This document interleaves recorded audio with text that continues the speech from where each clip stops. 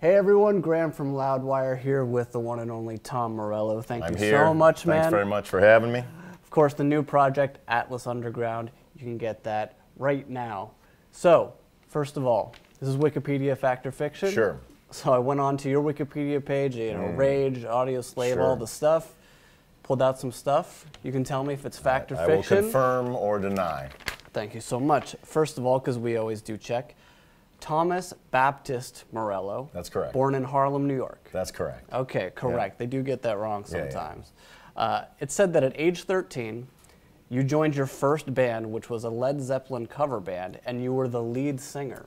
That it was not exclusively a Led Zeppelin cover band. Okay, But so- Nebula was the name of the band. called Nebula. Nebula. It was a junior high band, and I was the lead singer. It was before my voice changed, so I was able Oh. to hit the Robert Plant baby, baby, baby business. What else did you cover?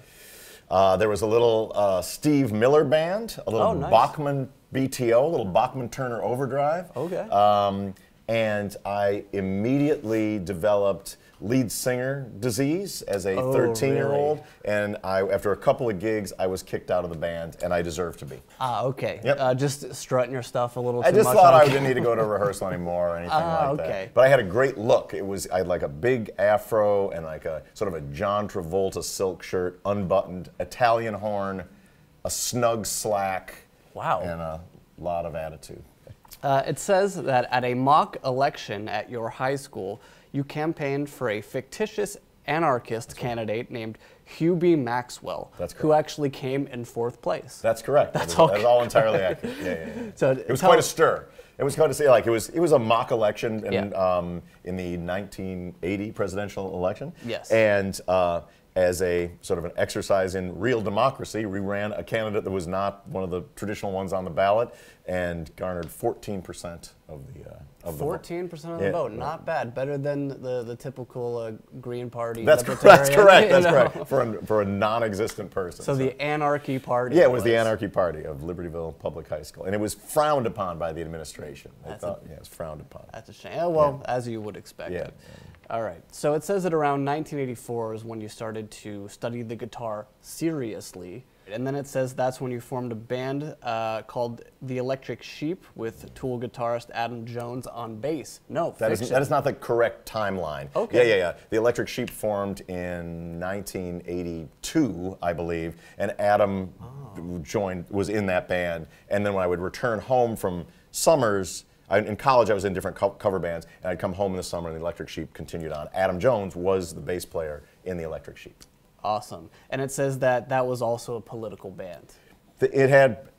I wrote a political song or two. I wrote my first political song was called Salvador Death Squad Blues, but it was the most of the subject matter was uh, very Brett Kavanaugh. I hate to admit it. It was pretty sort of sexist, Oh, okay. like punk songs. Yeah. Gotcha. Yeah, okay, so yeah. just the typical teen typical rebellion teen. eh, there was, I wish there was more rebellion and a little less, you know, sort of. We were all virgins, by the way, so we had sort of sort of like imaginary like rock life. We sort of like wrote as if we were Mick Jagger, and we were certainly not.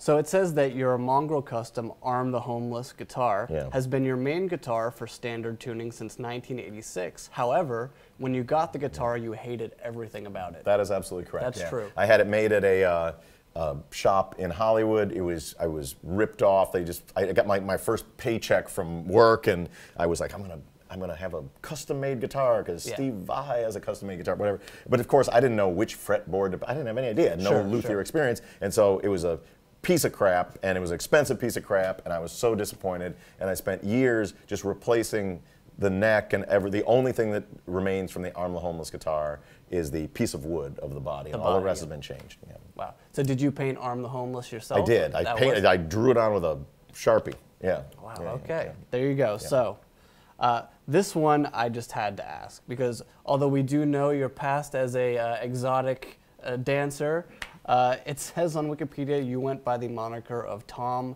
Meat Swinger. That Morello. is that is incorrect. That's That is incorrect. Yeah, I yeah, thought yeah, so because I typed that in, and I did you- not see a oh, quote. Were you, were you the one that put it on the? I was not, but I was like, "There's no way that's true." That was not true. That's not okay. true. Not that true. I've seen that on many a website. yeah, I've yeah. That is that is followed Have me you run a little into bit. that That's well? followed me around a little bit, but no. Okay, so No. Okay. It was a duo. It was like a tandem duo. It was that we would do bachelorette parties, and we had a particular financial goal. We wanted to buy a hot tub for our apartment. Excellent. So that's very exotic dancer like. Uh, All sort of need, um, and we it was we wanted like the right one, the nice one. So we worked, um, and then we retired from the sex trade after we. Once you got the hot yeah, tub. once we got the money for the hot tub. Yeah, yeah, yeah. Excellent. Yeah, so it was That's a very short good. tenure in Okay, the so- world of exotic dancing. Not true, the meat swinger. Brick House was our jam. though. That was, the, I mean, that's really the if you want to make money, that's read really about you, that. you go with that. I read it. I read about Yeah. that. Yes. Uh, it says from 87 to 88, you worked in the office of U.S. Senator Alan Cranston.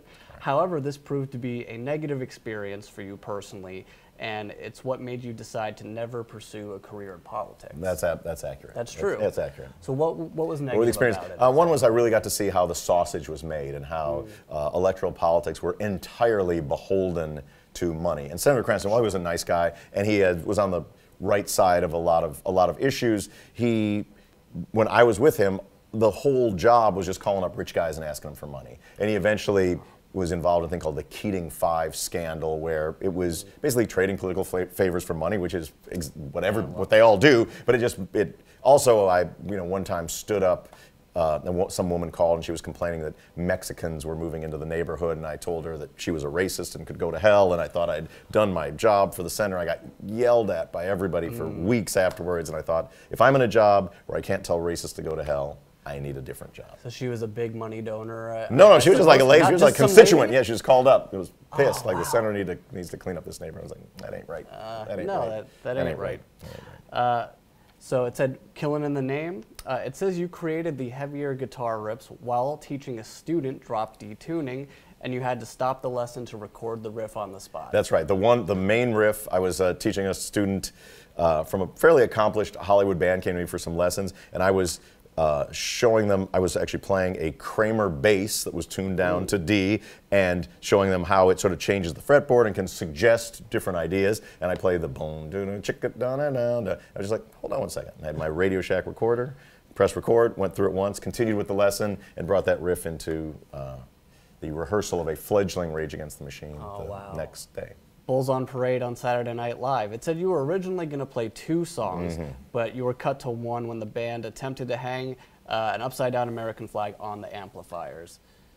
That is correct. We had, as part of our stage setup, we had upside down American flags on the amplifiers, a sign of signal for distress. Distress, yes. And uh, um, the, the, the host that night was Steve Forbes, who had just was a Republican presidential candidate and billionaire who has Forbes magazine, Wow, who's yeah. not a very good comedic actor, but he was the he was the host that night.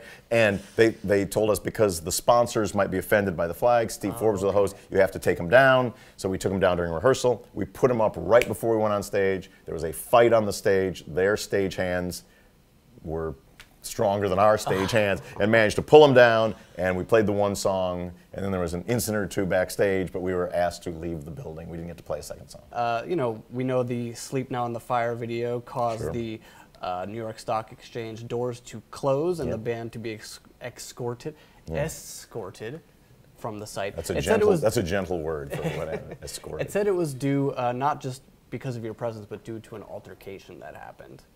Well, I mean, we Michael Moore had just he directed the video for Sleep Now Yeah. in the Fire. Uh, he had just been arrested uh, because the band did not have a permit to play on the city sidewalk where we were playing. So he was arrested, and he told us to take the New York Stock Exchange, and we rushed through the doors and were expelled, and they shut down capitalism for a few hours uh, because of Rage Against the Machine. They closed the riot doors in the building, and that was the end of that. So that the incident was that we were they weren't necessarily related, but we were shooting a video nearby, and there was a police problem there, so we decided to cause a second police problem. Okay, that's the story I always heard. I never heard of like an altercation. There was no Like- altercation. Okay, was no gotcha. so that's some fiction. Yeah, yeah, yeah, yeah. Uh, is it crazy to look back at that video and see the Trump Yes, president? it's crazy. I mean, it was, Yeah. of course, brought to my attention during the 2016 campaign, and, and so we share some responsibility, and so my apologies to all of you. All right, last one for you.